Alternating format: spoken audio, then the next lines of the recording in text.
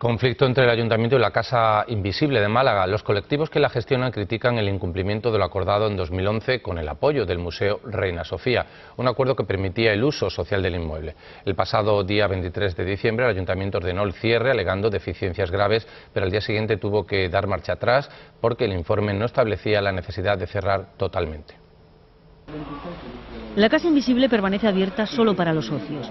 No se pueden realizar actividades públicas y abiertas como conciertos, teatro o conferencias hasta que no se solucione el conflicto.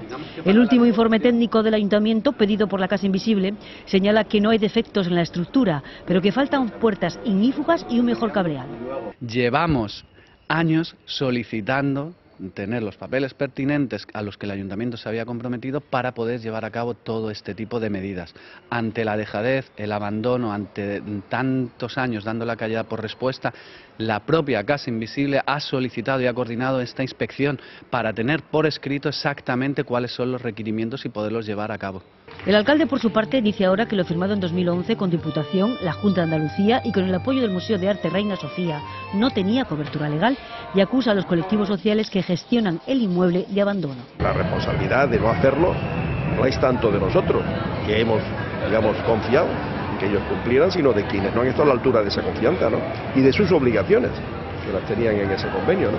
Y lo que estamos ahora es haciendo justamente lo que se tiene que haber hecho, se ha hecho. Pero ahí no hay ninguna motivación política, insisto en ello.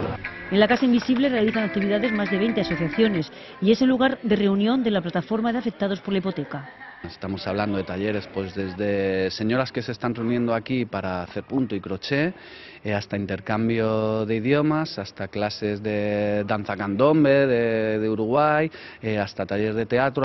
Los gestores de la Casa Invisible piden al alcalde que lleve a cabo el mismo tipo de cesión del inmueble que hace con las cofradías o con las peñas. El próximo día 10 a las 11 y media de la mañana han convocado una gran manifestación en apoyo de la Casa Invisible.